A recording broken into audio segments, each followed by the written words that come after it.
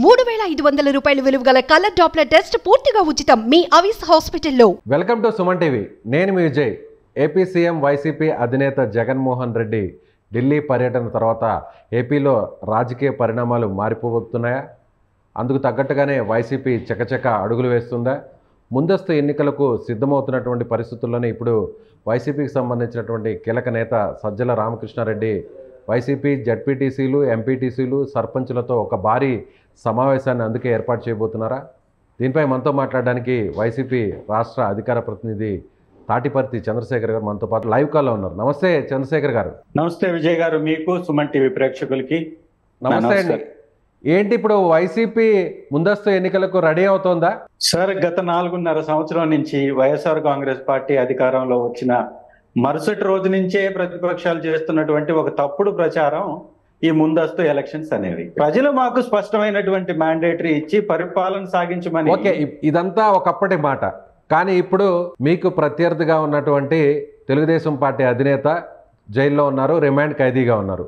త్వరలోనే లోకేష్ కూడా అరెస్ట్ కాబోతున్నారు అనేది బయట గట్టిగా చెప్తున్నటువంటి మాట. సో ఇదే కరెక్ట్ టైము. ఇప్పుడు గురి చూసి కొట్టేటువంటి దెబ్బ ఇదే రైట్ టైం అని మీరు భావించారని అందుకు తగ్గట్టుగానే నిన్న అమిత్ షా భేటీలో కూడా ఈ అంశమే ప్రధానంగా ప్రస్తావనకు వచ్చినట్టుగా చెబుతున్నారు. సార్ ఇదే రైట్ టైమా ఇదే రాంగ్ టైమా ఈ విధంగానే జరుగుతుంది ఆ విధంగానే జరుగుతుంది. ఈ రకమైనటువంటి ప్రచారాన్ని నమ్ముకొని రాజకీయం చేయడం తెలుగుదేశం పార్టీ చేసేటటువంటి విధానం. మేము చాలా స్పష్టంగా అనేక సందర్భాల్లో చెప్పాం అనేక మీటింగుల్లో చెప్పాం. గతంలో చేసినటువంటి మాటకి కట్టుబడి ఉన్నాం. వైఎస్ఆర్ కాంగ్రెస్ పార్టీ ప్రజలకు ఇచ్చినటువంటి మంచిని బట్టి మేలును బట్టి అభివృద్ధిని బట్టి ఎలక్షన్ చేయడానికి ముందుకు వెళ్తుంది. ఏ రోజు చేసినా కూడా గతంలో వచ్చినటువంటి సర్వేలను మీరు గమనించండి. రెండు సంవత్సరాల తర్వాత చేసిన మూడు సంవత్సరాల తర్వాత రీసెంట్గా చేసినా కూడా ప్రతి సందర్భంలో వైఎస్ఆర్ కాంగ్రెస్ పార్టీ గ్రాఫ్ రోజు రోజుకు పెరిగింది తప్ప ఎక్కడ పడిపోయినటువంటి సందర్భం లేదు. కాబట్టి చంద్రబాబు నాయుడు గారి అరెస్ట్కి ఈ యొక్క ఎలక్షన్స్కి మా ప్రభుత్వం ఏదైతే రాష్ట్ర ప్రయోజనాల కోసం గౌరవ సీఎం గారు ఢిల్లీ వెళ్ళినటువంటి ఆ యొక్క పర్యటనకి సంబంధం లేనటువంటి అంశాలు. బోడిగుండుకి మోకాలకి ఓకే అంటే ఆర్థిక మంత్రితో భేటీ అవ్వడం అనేది రాష్ట్రానికి సంబంధించినటువంటి నిధుల విడుదల కోసం దానికోసం అనుకోవచ్చు. మరి హోంమంత్రితో అమిత్ షాతో భేటీ అవ్వడం దేనికి ఒకవేళ భేటీ అయిన తర్వాత కూడా ఇప్పటికీ అందులో మాట్లాడినటువంటి అంశాలు అందులో వచ్చినటువంటి హామీలు ఎక్కడ కూడా బయటికి ఇప్పటి వరకు వైసీపీ చెప్పలేదు. సార్ గౌరవ సీఎం గారు ఒక రాష్ట్ర ముఖ్యమంత్రిగా ఉన్నారు. వారు ఒక దేశానికే హోంమంత్రిగా ఉన్నారు. మరి దేశానికి హోంమంత్రిగా ఉన్నటువంటి అమిత్ షా గారిని గెలవడం అనేది సర్వసాధారణంగా జరిగేటటువంటి అంశం కదా. దీనిలో రాజకీయ చర్చ ఎందుకు ఉంటుంది? అమిత్ షా గారు ఏ భారతీయ జనతా పార్టీ అధ్యక్షులుగా కానీ సీఎం గారు కలిస్తే ఆ చర్చ వస్తుంది. ఒక దేశానికి అధ్యక్షుడు జేపీ నడ్డా అయినా మొత్తం పార్టీని దేశంలోనూ మిగిలినటువంటి రాష్ట్రాల్లోనూ రాజకీయ నిర్ణయాలన్నీ కూడా తీసుకునేది అమిత్ షా. దాన్ని అమలు పరిచేది కూడా అమిత్ షా. ఆ విషయం అందరికి కూడా తెలుసు. కాబట్టే ఇప్పుడు అమిత్ షాతో జగన్మోహన్ రెడ్డి భేటీయే ఇప్పుడు ప్రధానంగా చర్చ. వైఎస్ రాజశేఖర్ రెడ్డి గారి చేసినటువంటి యొక్క పథకాలను కానీ లేదా వారు ఏ ఏ విధమైనటువంటి ప్రభుత్వాన్ని నడిపించాడో ఆ యొక్క వారిని పట్టి వారి ప్రభుత్వం వారు తీసుకున్నటువంటి విధానాలను అనుసరించి రాజకీయం చేయడం కోసం రాజకీయ పార్టీ పెట్టినటువంటి జగన్మోహన్ రెడ్డి గారు ఈ రాష్ట్ర ప్రయోజనాలు మా యొక్క పార్టీ విధానాలని మా రాష్ట్రంలో చెప్పుకుంటాం. దేశంలో వెళ్ళేసి బీజేపీ పార్టీతోటో లేకపోతే ఇంకొకరితోటో రాజకీయంగా మాట్లాడుకోవాల్సినటువంటి అవసరం ఓ మా యొక్క పార్టీకి ఏముంటుందండి? మా యొక్క విధానాలు మేము ప్రజలు నమ్ముకొని రాజకీయం చేస్తాం. ఇక్కడ ఉన్నటువంటి రాష్ట్ర పరిస్థితుల మీద రాజకీయ పరిస్థితులు ముడిపడి ఉంటాయి తప్ప దేశ రాజకీయాల్లో ఉన్నటువంటి బీజేపీ పార్టీ తోటి మేము వెళ్ళి అక్కడ చేసేటటువంటి రాజకీయం ఏముంటుంది? వారితో పొత్తు పెట్టుకోవాలని అనుకునేటటువంటి కొన్ని పార్టీలు తెలుగుదేశం కానీ మరి మరి సమావేశంలో ఏం జరిగిందనేటువంటి విషయాన్ని ఎందుకు చెప్పడం లేదు? విజయ్ గారు వినండి వినండి వినండి వినండి. ఎవరైతే బీజేపీతో పొత్తు పెట్టుకోవాలని అనుకుంటున్నటువంటి పార్టీలు ఉన్నాయో ఆ పార్టీలు వెళ్ళి ఆ పార్టీ నాయకులతోటి మీట్ అయ్యి వారు డిస్కషన్ చేసుకుంటే రాజకీయ చర్చ జరిగిందని అనుకోవచ్చు. మా పార్టీకి వారి పార్టీతోటి పొత్తు కానీ ఏ రకమైనటువంటి సంబంధం కానీ లేనప్పుడు రాజకీయ చర్చ ఎందుకు వస్తుంది? కేవలం ప్రభుత్వాల మధ్య చర్చ జరుగుతుంది. వీళ్ళే వారికి వారి పరిధిలో ఉన్నటువంటి ఆ యొక్క సంస్థల మీద జరిగితే చర్చ జరిగే అవకాశం ఉంటుంది. అంతే సరే ఏ అంశాల మీద చర్చ జరిగింది? పోనీ చెప్పండి మీరు ఆ పార్టీకి సంబంధించి అధికార ప్రతినిధిగా ఉన్నారు. నిన్న జరిగినటువంటి సమావేశంలో ఏ అంశాలు అక్కడ అమిత్ షా మధ్య జగన్ మధ్య వచ్చినటువంటి అంశాలు ఏంటి సార్ ఖచ్చితంగా చాలా స్పష్టంగా అన్ని పేపర్స్లో వచ్చింది. ఈ రాష్ట్ర ప్రయోజనాలు ఈ రాష్ట్రం రావాల్సినటువంటి నిధుల విషయంలో రావాల్సినటువంటి సంస్థల విషయంలో వాళ్ళు ఇవ్వవలసినటువంటి అనేక సంస్థలు ఏర్పాటు చేయవలసినటువంటి సంస్థలు చాలా ఉన్నాయి. కేంద్రం ద్వారా రావాల్సినటువంటి ఆ సంస్థల విషయంలో నికర జలాలు కృష్ణానదికి సంబంధించినటువంటి జలాల విషయంలో అలాగే దాంతోపాటు పోలవరం అనేటటువంటి మనకి సంజీవినిగా ఉన్నటువంటి ప్రాజెక్టు ముందుకు వెళ్ళడానికి ఆర్థిక నిధుల్ని కేటాయింపు విషయంలో కలిసినట్టుగా స్పష్టంగా వచ్చింది. దాంతో పాటుగా వామపక్షాలకు సంబంధించినటువంటి తీవ్రవాద ఇదేదైతే ఉందో ఆ మీటింగ్లో కూడా పాల్గొనడానికి వెళ్ళినట్టుగా కూడా స్పష్టంగా చెప్పారు. ఇది అఫీషియల్ ప్రోగ్రామ్ ఇది ఏ- ఏ రకంగా కూడా రాజకీయ వేదికగా తీసుకున్నటువంటి ప్రోగ్రాం కాదు. ఖచ్చితంగా ఈ రాష్ట్ర ప్రయోజనాల కోసం గౌరవ సీఎం గారు వారి యొక్క పర్యటనకు ముందు కానీ పర్యటన తర్వాత కానీ స్పష్టంగా చెప్పారు. ఈ రోజు జరుగుతున్నటువంటి తప్పుడు ప్రచారం ఈ రాష్ట్రంలో గతం నుంచి జరుగుతుందే. వీటన్నిటిని పట్టించుకోవాల్సినటువంటి అవసరం ఎంత మాత్రము లేదు. మా యొక్క పార్టీ ఏ రోజైనా కానీ ఎలక్షన్స్ పోవడానికి సిద్ధంగా లేదు ముందస్తు ఎలక్షన్స్కి మేము సంపూర్ణంగా మాకు ఇచ్చినటువంటి ఐదు సంవత్సరాల మ్యాండేటరీ తర్వాత మాత్రమే మేము ప్రజలకి ఎంత సమయం కానీ దొరికితే అంత సర్వీస్ చేసేటటువంటి అవకాశం ఉంది కాబట్టి మేము ఇస్తున్నటువంటి పథకాలను పూర్తిగా సంపూర్ణంగా ఇచ్చిన తర్వాతే మేము ఎలక్షన్స్కి వెళ్ళాలనేది మా యొక్క విధానం కాబట్టి అలాగే ముందుకెళ్తాం తప్ప ముందస్తు ఎలక్షన్స్కి వెళ్ళాలనేటటువంటి ఆలోచనలో వైఎస్ఆర్ కాంగ్రెస్ పార్టీ లేదు. ఇది చాలా స్పష్టం. అది తెలుగుదేశం పార్టీ అండ్ జనసేన అనేటటువంటి పార్టీలు ఏదో ఒక సింపతి గెయిన్ చేసుకోవటం కోసం. చంద్రబాబు నాయుడు గారు జైల్లో ఉన్నాడు. అయితే ఇప్పుడు కానీ ఎలక్షన్ జరిగితే వారికి మేలు జరుగుతుందని వాళ్ళు అనుకుంటున్నారేమో. అందుకు అలాంటి తప్పుడు ప్రచారం చేస్తున్నారు తప్ప వైఎస్ఆర్ కాంగ్రెస్ పార్టీకి ఆ అవసరం లేదు.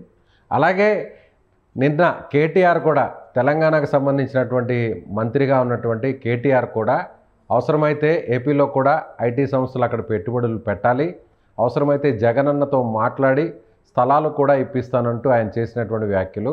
అటు బీఆర్ఎస్కి అలాగే వైసీపీకి మధ్య ఉన్నటువంటి బంధాన్ని తెలియజేసింది అనుకోవాలా ఎవరన్నా ఈ రాష్ట్రం గురించి బాగా మాట్లాడితే వాళ్ళకి ఏదన్నా వారి ఉద్దేశాలను బయట పెడితే వైఎస్ఆర్ కాంగ్రెస్ పార్టీకి అనుకూలంగా మాట్లాడుతున్నారు అంటారు ఆ ఏదైనా రాష్ట్రంలో ఉన్నటువంటి వ్యక్తులు వ్యతిరేకంగా మాట్లాడితే చూసారా? పక్క రాష్ట్ర వ్యక్తులు కూడా తప్పుగా మాట్లాడుతున్నారు మన రాష్ట్రం గురించి అంటారు. ఏ రకమైనటువంటి మాట మాట్లాడినా కానీ తప్పుడు ప్రచారం చేసుకోవడం కొంతమంది విధానం కాబట్టి వారిని ఎవరు మార్చలేరు నక్కతో మీరేమన్నా ఆహ్వానిస్తున్నారా? నిజంగానే ఓకే రండి. కేటీఆర్ గారు సహకరించండి. మా రాష్ట్రంలో ఇన్వెస్ట్మెంట్లు పెట్టే విధంగా మీరు అక్కడి నుంచి వారిని పంపించండి అని మీరేమైనా కోరే అవకాశం ఉందా? సార్ ఈ రాష్ట్రానికి ఎవ్వరు మేలు చేస్తానన్నా కలుపుకొని వెళ్ళడానికి వైఎస్ఆర్ కాంగ్రెస్ పార్టీ నాయకులు కానీ ప్రభుత్వం కానీ సిద్ధంగా ఉంది. ఈ రాష్ట్ర ప్రయోజనాలు ముఖ్యం అనుకున్నప్పుడు అది కేటీఆర్ గారు సహాయం చేయడానికి వస్తారా ఇంకొక ప్రతినిధి వస్తారా ఇంకొక రాష్ట్రానికి సంబంధించినటువంటి మంత్రి గారు వస్తారా ఎవరు పెట్టినా కూడా ఈ రాష్ట్రానికి మేలు జరుగుతుందంటే స్వాగతించాల్సిందే కదా. దానిలో తప్పే ఉంది. అలాగే ఈ రాష్ట్రానికి సాధించాల్సినటువంటి అనేక సంస్థల విషయంలో ఎప్పుడు కూడా అలుపెరగని పోరాటం చేస్తున్నటువంటి పార్టీ వైఎస్ఆర్ కాంగ్రెస్ పార్టీ మా ప్రభుత్వం. ఇది ఎవరు కాదనలేనటువంటి అంశం.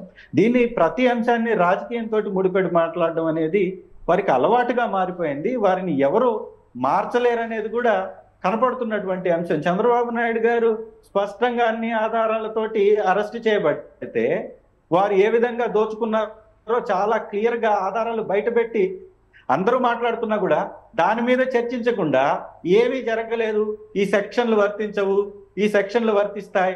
సెవెంటీన్ ఏ వర్తిస్తుంది కాబట్టి ఈ విధంగా అరెస్ట్ చేయకూడదని మాట్లాడుతున్నారు కానీ తప్పు జరగలేదని ఎక్కడా మాట్లాడలేదు అలాగే ఇప్పుడు అలాగే ఇప్పుడు చంద్రబాబు కేసుకు సంబంధించి మీరు మాట్లాడుతున్నారు. మరొక వైపు లోకేష్ కూడా నిన్న చంద్రబాబుతో ఆయన ములాఖత్లో మాట్లాడిన తర్వాత బయటకు వచ్చి కూడా ఇప్పటికీ తమకు భద్రత మీద అనుమానం ఉంది అనేటువంటి అభిప్రాయాన్ని ఆయన వ్యక్తం చేశారు.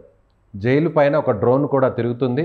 అలాగే జైలు మీద కూడా రాజమండ్రి జైలు మీద కూడా దాడి చేస్తామంటూ కూడా ఒక అజ్ఞాత వ్యక్తి లెటర్ కూడా రాశారు అనేది లోకేష్ చేసినటువంటి ఆరోపణలు. దీన్ని ఎలా చూడాలంటారు? ఇరవై రోజులు పారిపోయి వేరే రాష్ట్రంలో దాక్కొని వచ్చినటువంటి లోకేష్ అతనికి రాజకీయ పరిపక్వత రాలేదు అనేది ఇలాంటి సిల్లి వ్యాఖ్యలు చేసి మరొకసారి నిరూపించుకున్నారు.